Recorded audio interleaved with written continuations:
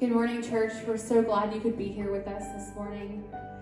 As you can see, we've had to make more adjustments um, due to the latest health mandates, and we want to follow um, the laws of the land just like Christ told us to. Uh, so I hope that you are um, enjoying this morning's service in the comfort of your home with your family, if you have any with you in your home. And if not, I hope that you are connecting with uh, our church family online. Be sure to comment below that you're here.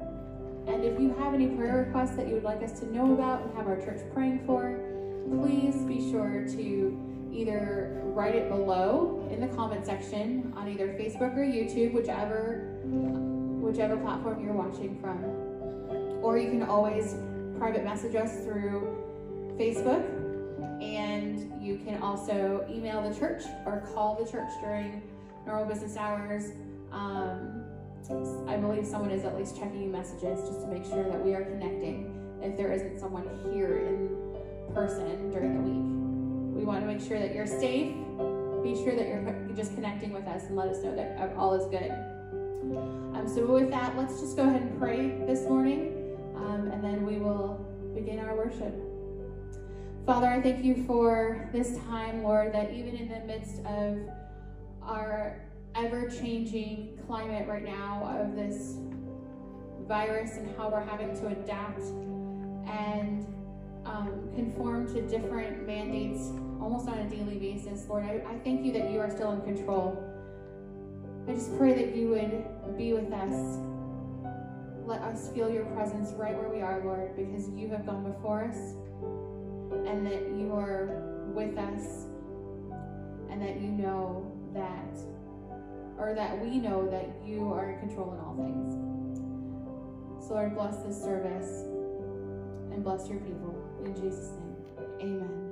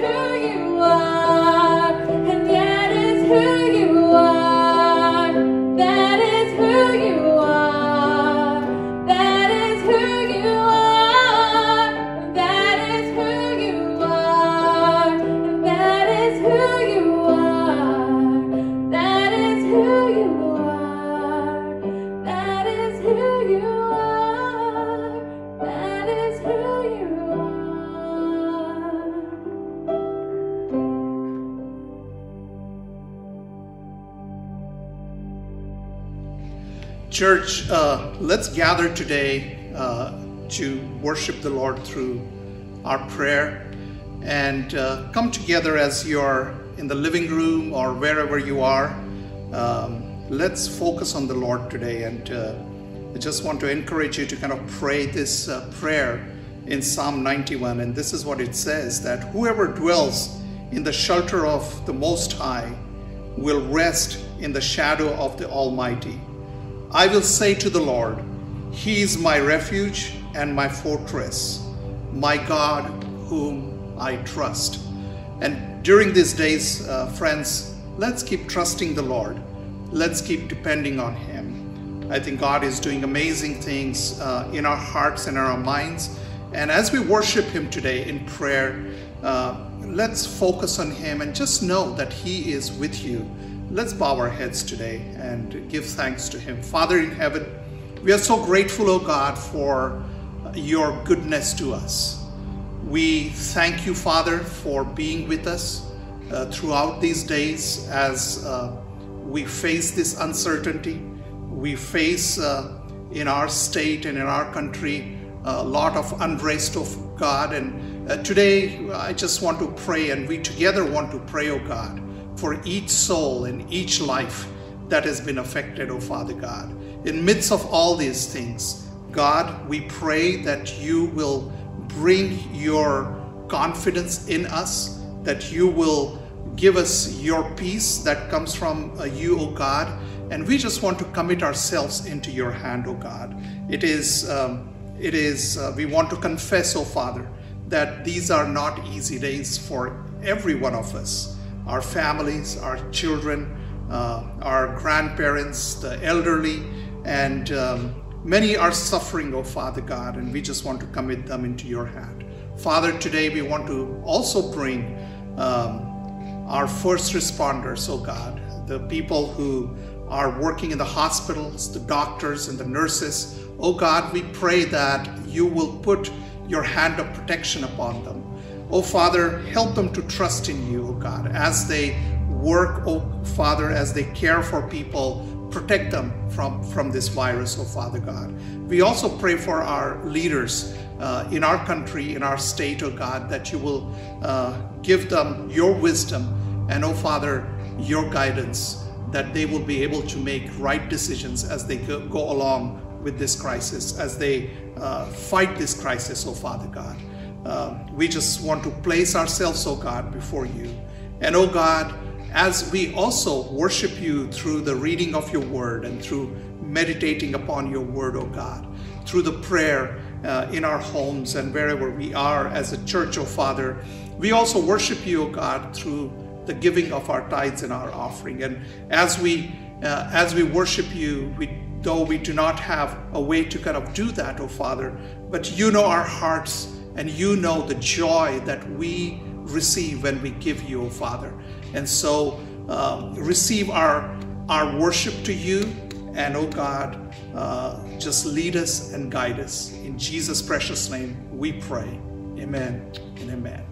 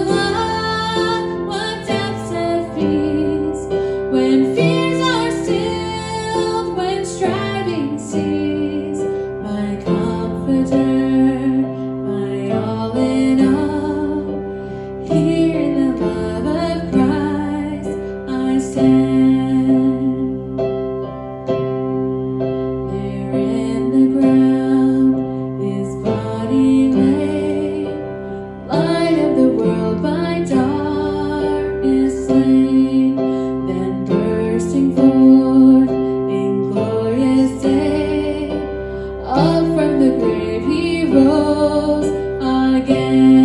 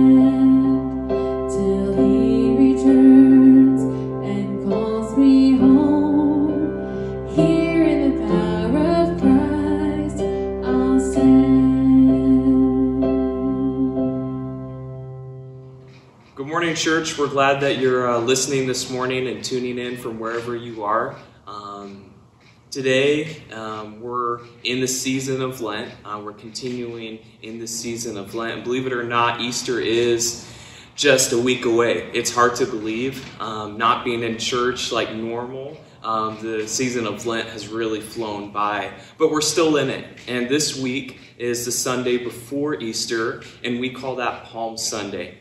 Palm Sunday is when Jesus was riding in Jerusalem on a donkey, and people were praising his name and celebrating him.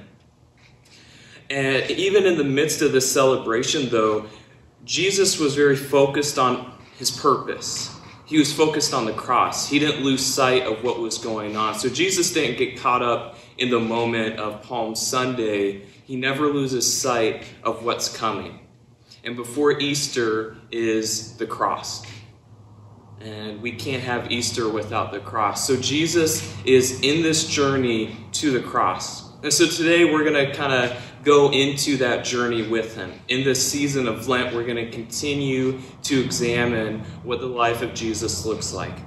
In this week leading up to Easter, Jesus is confronted with all kinds of disappointments, with his disciples leaving him, um, or betraying him at different points along the way. Um, people hurling insults at him. Of course, Jesus died the most brutal death imaginable. In the, we've been talking about offenses, and in this week leading up to Easter, Jesus is faced again and again with all kinds of offenses that people are throwing upon him. And yet, Jesus remains steady. Jesus is rock solid during all of this. Um, that's who Jesus is. He continues to move with the love and the grace of God, even when insults are thrown at him. You know, these past few weeks we've talked about the life of Jesus during this Lent season. We talked about Joseph found in the Old Testament. And last week, if you were joining with us online, we also talked about the life of David, King David in the Old Testament. Um, this week, we're going to focus on another character called Peter. Peter is one of Jesus' disciples. And I invite you to just focus in your attention today as we look at the life of Peter. There's this encounter that Jesus has with Peter where he says, On this rock I will build my church. So we're going to look into that today. What does that mean? What is Jesus talking about when he brings this up? But we know that in these past few weeks, as we've looked at the life of Jesus, the life of Joseph and David, we've been able to see that in the midst of offense, in the midst of being mistreated, that they remain stable, that they remain strong, not in their own strength, but in the strength that God gave them. So I encourage you and I invite you um, to just come in and listen uh, for the rest of the sermon today and really listen to what God may be teaching us, each one of us today, as we go on. You know, we have been looking at uh, lives of different people during this last three, four weeks. And of course, we focused on Jesus all along the way and uh, uh, life of David and Joseph. And as we looked at uh, all these people, we find that they are very firm, solid people, especially in midst of difficulties and trials and persecution. And um, they're very stable, but um, at the same time, uh, Bible also talks about people who act hastily. Uh, they are very easily swayed, and uh, especially in, in, in, midst of persecution or trial, or when the storm comes, uh, you know, they crumble down. And um, it is like, um, uh, you know, house built on the sand. Uh, that when the storm comes, it just kind of, uh, you know, breaks down. And as versus uh, house that is built on, on the rock, which is solid. And, and that relates to us as a human being. And talking about that, uh, Jesus refers uh, Peter, as we're looking at his life today, is uh, as, as the rock. And he says that uh, I will build my church on this rock, Peter. And uh, the question really is um, today is how does how God is building His church. And, uh, you know, as we kind of think about that, uh, I want to kind of draw your attention to the conversation, a very fascinating conversation that Jesus and disciples, and especially Peter, are having in Matthew chapter 16, verses 13 to 18. And uh, this conversation kind of starts with asking the questions to the disciples. And Jesus asked this question uh, in verse 13, and he says, Who do people say the Son of Man is? And he's kind of wanting to know from, the, from everybody, who do people say the Son of Man is? And as this question is asked, all the disciples have the answers to the question. And uh, they're they're they're kind of having this conversation and and uh, they say oh we know. And everybody jumps in to kind of answer this question. And they say that some say that it is john the baptist and some say others say that it's elijah and still others say it is jeremiah and uh, and some others say one of the prophets and and these are the uh, these are the answers they come up with to kind of uh, give answer. And then uh, Jesus is kind of taking in these answers and he's kind of thinks about it and processes that and, uh, you know, and thinks about it. And then uh, he has another question for the disciples. And it comes directly to the disciples and he says, But what about you? Uh, and he asks that, Who do you say I am? And then, as soon as Jesus asked this question, the disciples are kind of in a, they never expected this probably. And they're saying, Oh, who do you think that I am? You know, Jesus is asking. And they're thinking and thinking, and probably they're thinking that we need to answer this correctly, and they're silent. They don't have answer to that question. They don't know who Jesus is really. And there is no answer from anybody, any of the disciples. And all of a sudden, uh, Peter just kind of answers this question and he says this in verse 16 of this chapter and he says, You are the Messiah, the Son of living God. And as soon as Peter says that, it is a very profound thing Peter says because it relates to the identity of Jesus and this changes everything. You know, it is mere it is not enough merely knowing Jesus that his existence exists. It is just not enough. But it is important to know who he really is. That makes world of a difference. And I just want to kind of, uh, you know, that really makes, uh, you know, life change, um, uh, you know, information or understanding or realization in our life is what is the identity of Jesus? There are lots of people in the world, they know about Jesus and probably they think that he existed, but it is so important to know who Jesus really is. And Peter really understood that. And the response to that answer of the Peter, Jesus says these words. It's 17, uh, verse 17 and 18, and this is what he says.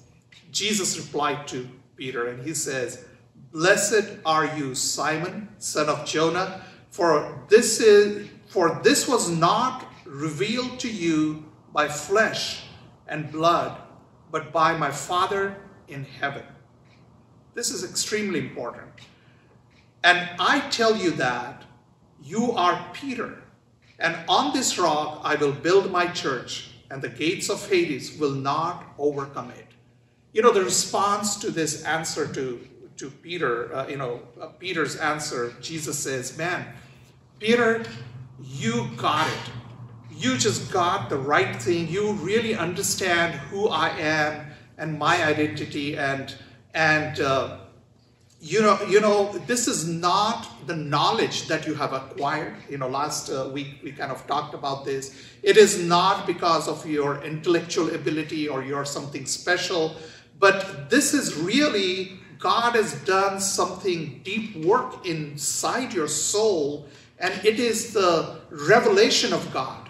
It is the God's word's revelation to your uh, to the depths of your soul that the Father in heaven has revealed to you this this knowledge, this truth uh, about my identity that uh, that I'm I'm the Messiah and Son of God.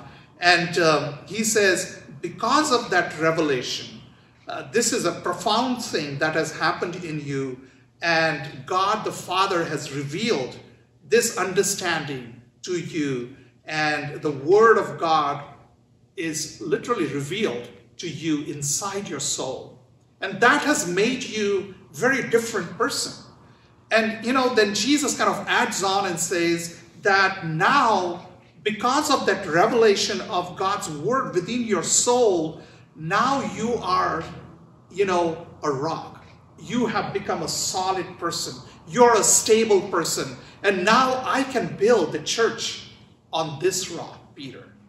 And he says that to him. And he says that, and, and um, you know, the question kind of comes uh, to our mind that what is Jesus really talking about? How is Jesus going to build the church? Is he building a building? Is he building the organization? Is it is he building a denomination? Uh, what is he building really when he Jesus says that he's building the church? You know, friends, this is what it is. What happened with Peter was this: the word of God was revealed and really was exploded within his soul. There was something very special happened when he understood the identity of Jesus. Uh, it did something in his in his soul, and the and and it is a revealed word of God, and the truth came to uh, you know in his heart and in his soul. You know, friends, when this happens, when the word of God is revealed to you, it makes the person mature.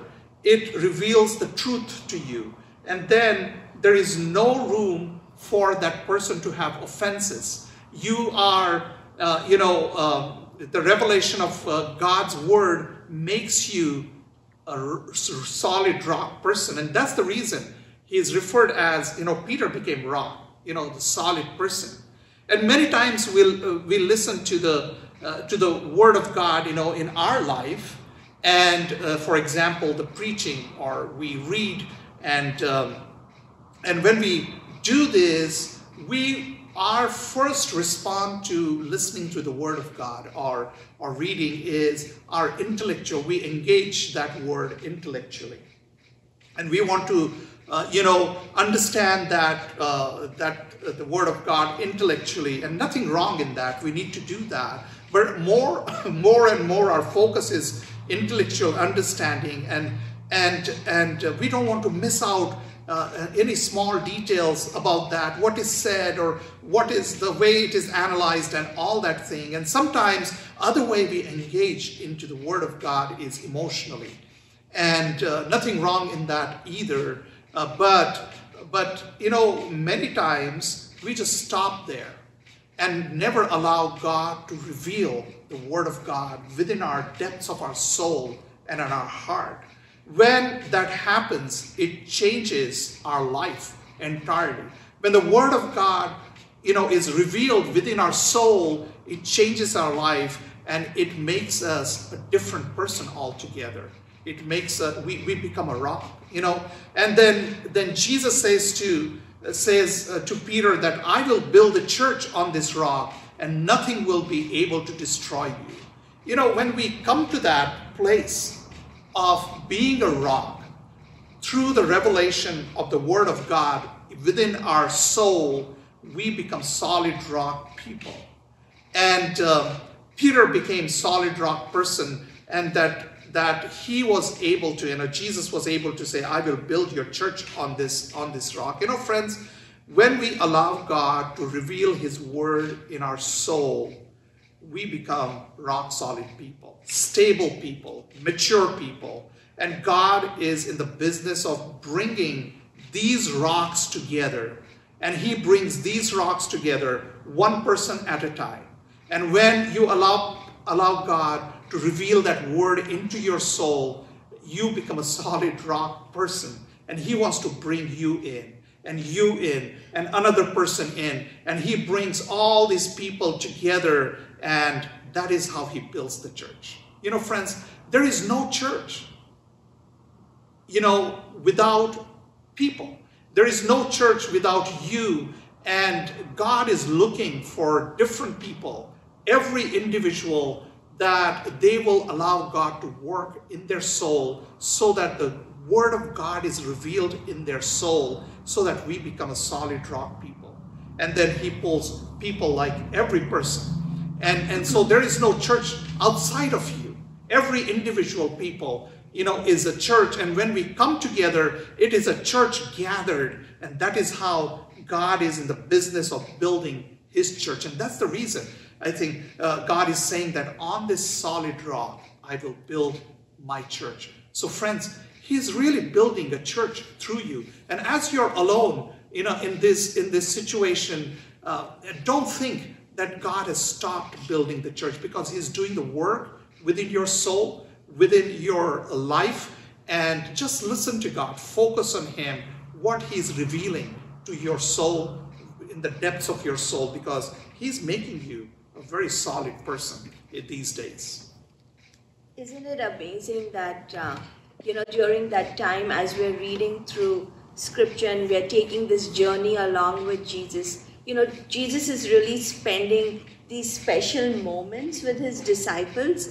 And so, not only did Jesus ask that question, but I, I wish I was there at that time, you know, when Jesus is sitting with all his disciples at, at the Last Supper, having these conversations, these deep, meaningful uh, conversations, because that's his last opportunity with them. So, along with the, that question that Jesus asked uh, his disciples, and Peter answered, Jesus also asked, and he made this statement to his disciples that's going to really shake up their world.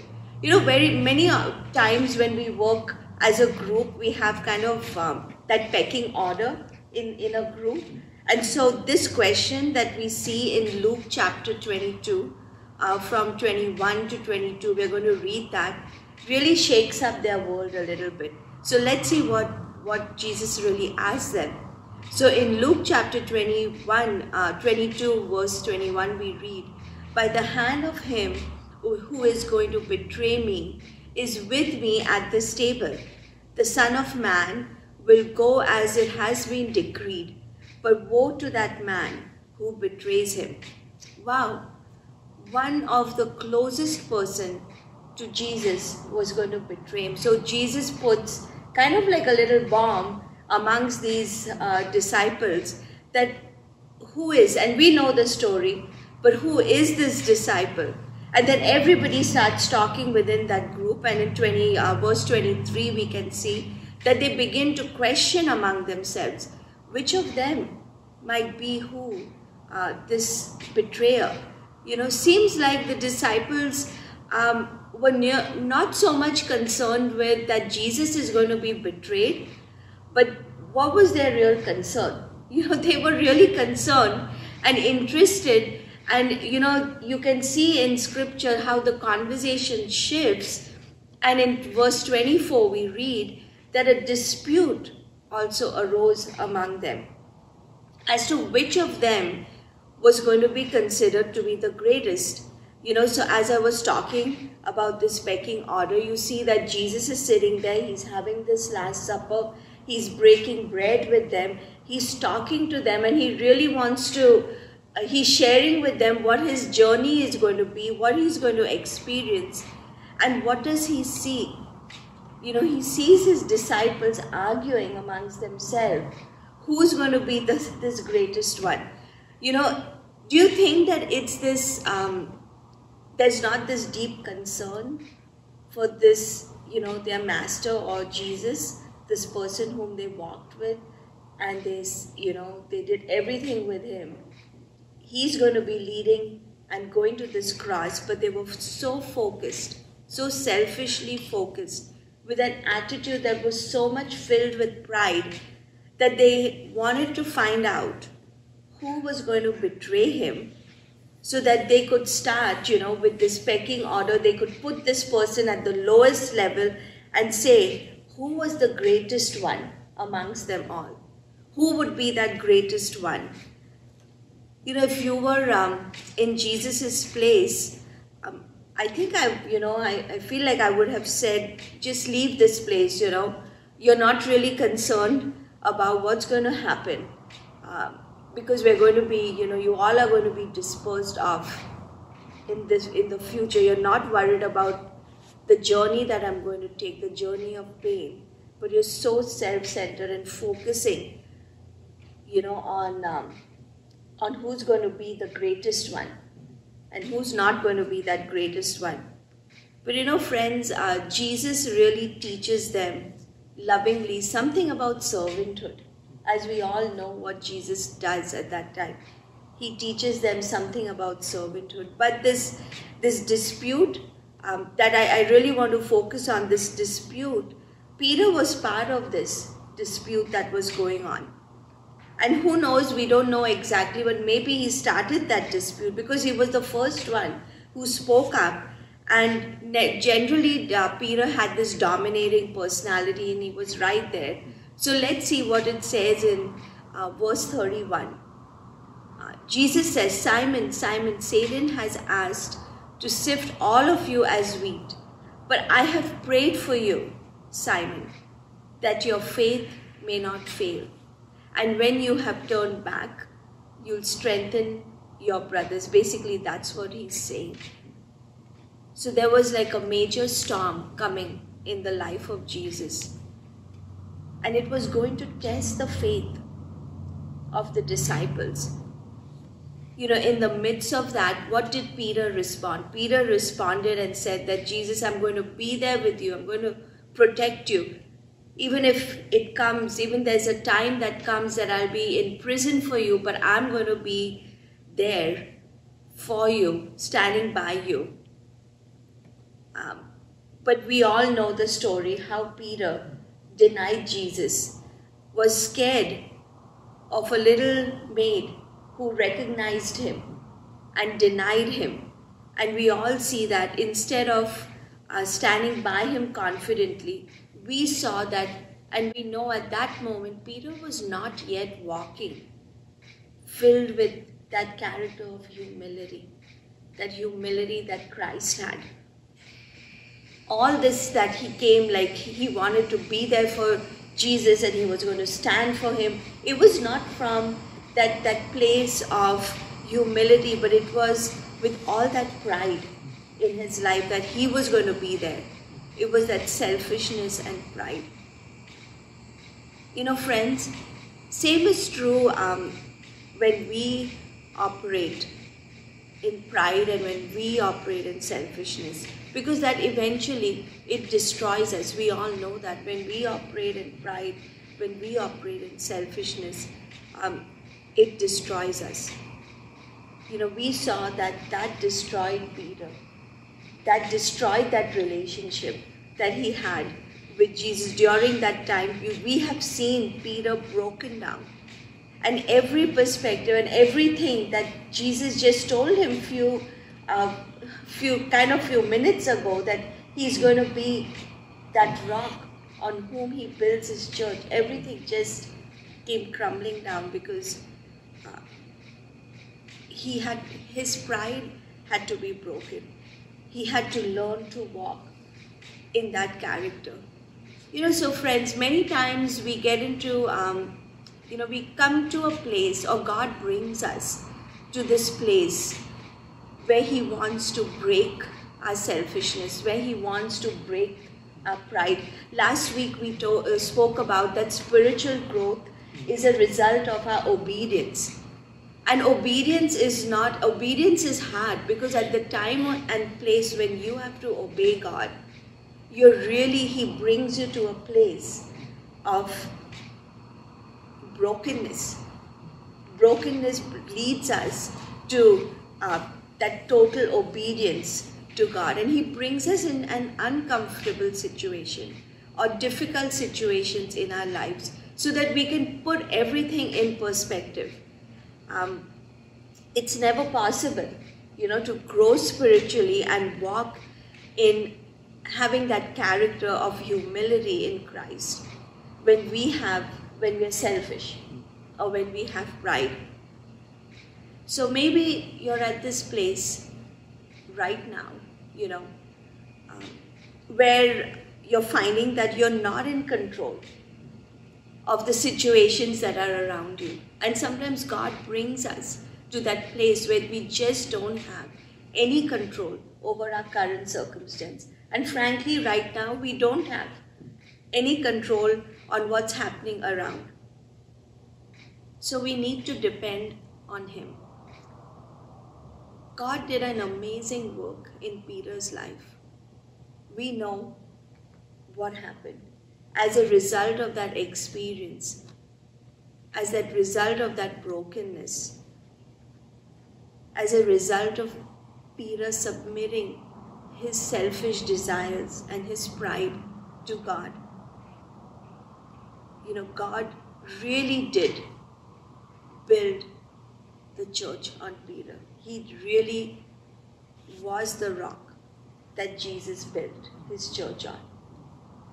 You know, friends, um, as we looked at, uh, you know, the pride and selfishness that Peter acted upon, and uh, you know, uh, the revealed word of word of God in Peter's soul.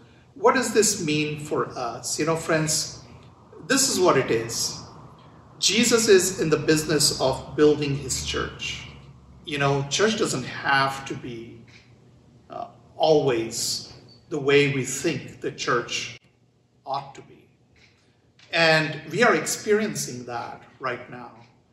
That it is a different church, it is a scattered church, it is a church where everybody is at a different place. It is not gathered church right now. And sometimes we feel that, oh, is the church still existing? Just understand, and I just want to encourage you today. It is always, Jesus says, it is my church. It is his church. And you are the church. You are the body of Christ. As you have scattered, you are the body of Christ. And God is always in the business of building you up, making you stronger and stronger, one person at a time. And this is the best time that we can strengthen ourselves, depend on God, and really understand what God is teaching us.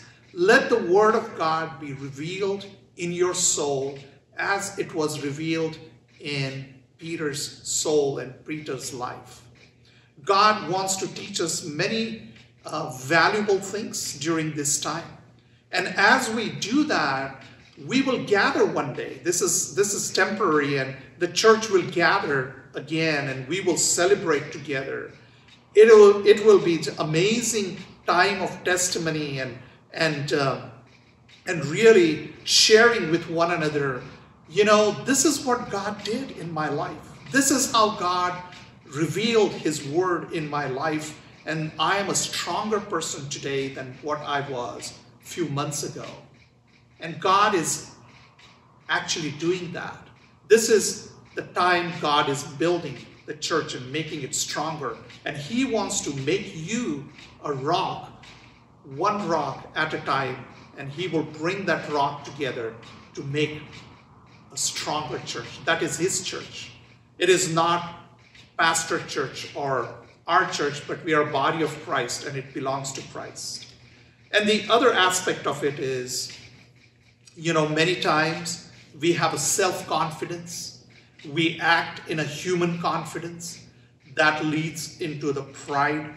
And when we do not have a reason to depend on God, we act on a self confidence that I can do this and I can take care of that and I have the knowledge of this. And, and Peter was at that place that he wanted to save Jesus and he went to fight for him. And he, he said, I will go into prison with you and, and I will die for you and all those things. And all those things he was doing was in his self-confidence. It was, he was not acting in a, in a, uh, in a character of Jesus or in humility of Jesus, but it was all self. There was a lot of pride.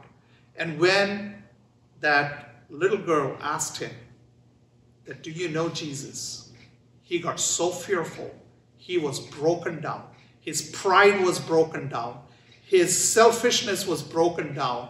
And at that moment in time, he realized that how much he needs Jesus, Jesus, and it is so important to depend on him. You know, friends, maybe God is breaking our selfishness during this time. Maybe he is breaking our pride during this time. If he is doing that, he is probably teaching us dependence on him by doing that. And when he is doing that, the question is, are we allowing him to break our pride and to break our selfishness? And the, the reason he's doing is because he is in the business of building the church. He's working on you and he wants to make you a solid rock. Will you allow him to make him make you a solid rock and bring you together to strengthen the church? Uh, this is the word of God today. And uh, let's praise God and give him thanks for who he, who he is and what he is doing in our life.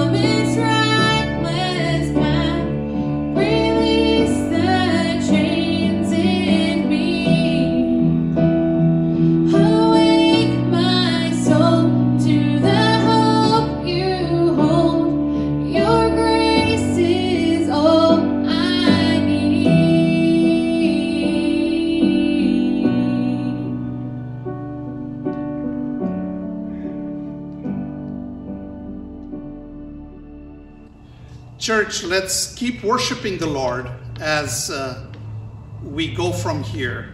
Uh, as you um, are in the home, just spend time with your family, just make memories, and uh, always remember God is working in your life.